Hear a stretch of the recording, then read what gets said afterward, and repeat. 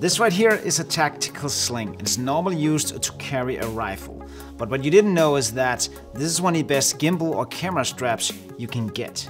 It's heavy duty, it's quick release, it's black, it's one of the best things that I've ever used when shooting with a gimbal. And one of the biggest benefits is that when I have this on, I can hang the gimbal to the side and have my hands free. And you can put it on any gimbal, any camera system, as long as you have these hooks, you can hook it to anything. So if this is something that you are interested in, hang on for the ride and let me show you how you can get this and how you can add it to your camera system. And if you don't know anything about me, I have a long history of working with gimbals and my channel is packed with amazing gimbal videos and tutorials. Why is it that when we shoot with a gimbal for a long day or carrying heavy camera gear for a long time, our back starts to hurt? It's super exhausting and at some point it's not fun anymore. I've been working on this solution, trying to find the best way to kind of compensate that when we are using our gimbal. The story of this gimbal strap actually goes way back. When, we when I were in the military, we were using these tactical slings to carry our weapons. And I thought that maybe I could convert this to work with my gimbal. And it works so well.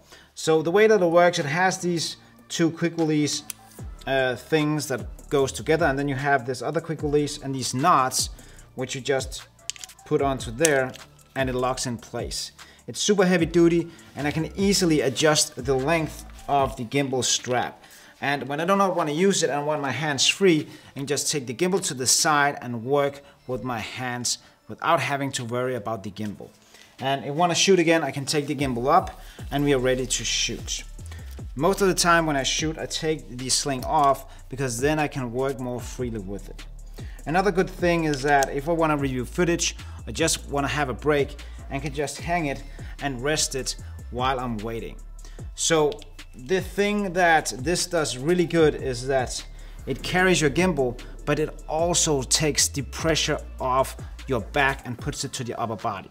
Because this is one of the worst things when shooting with a gimbal is that when we shoot for a long time, you start feeling that pain in your back if you have a heavy setup. So once you attach this and just keep it close to your body, the pain or the stress of the fatigue when you're shooting with a gimbal will be taken off your back. So you will be able to shoot for a lot longer than you normally will. This was on the RC2 and you can also add it to your normal camera setup. But if we take a look at some of the other gimbals I have, this is the Weebill S. I have it on this side handle right here. And again, it works the same. I just put it into there and I can put it down to the side if I want to. You can see I can just leave it hanging like that. But then again, what if you don't have a side handle? Yes, then you just have to find some other kind of um, access point where you can mount these small knots here. So if I wasn't having a side handle, I would just add it to this one or somewhere else where you have a point of attachment on your gimbal. So when you buy this tactical strap, there are two things you have to be aware of. One of the things is that the one that I have here comes with a loose end.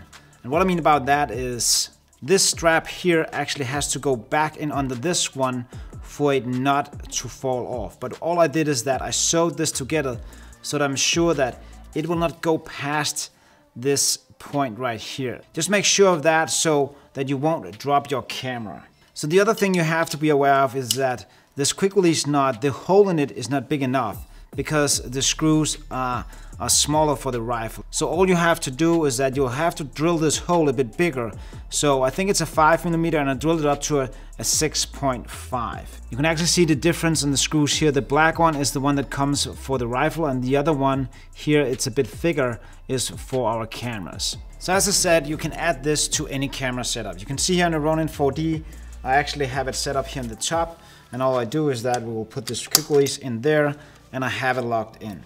So the way that I use it on the Ronin 4D, I actually keep this on the strap because this is a heavy setup.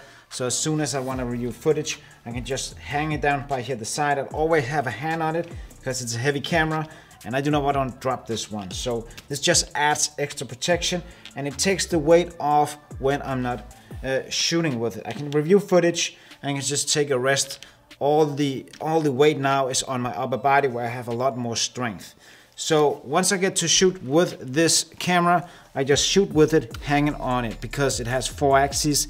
So when I'm walking around, it's not a problem with something like this. No matter what camera you have, this tactical sling will work. How do you get it and where do you get it? All these parts come from Amazon, but you can get it in any tactical store that will have these tactical slings. So I'll put some links down in the description where you can find this on Amazon, but if you have a local store, just go there and grab one. And they come in multiple colors. You can get in all the military colors, sand, green. This one is black. And the reason why I have it is, in black because if I shoot events or weddings or some other wear where I'm wearing black, this one just blends in 100%. Get a tactical sling for your camera and your gimbal and it will save your back for so many hours. Go watch my video from last week where I'm talking about the Tilta ring which is a big setup for the DJI RS2. Stay creative and stay safe, and if you can, go out and shoot some dope videos. See you next time. Bye.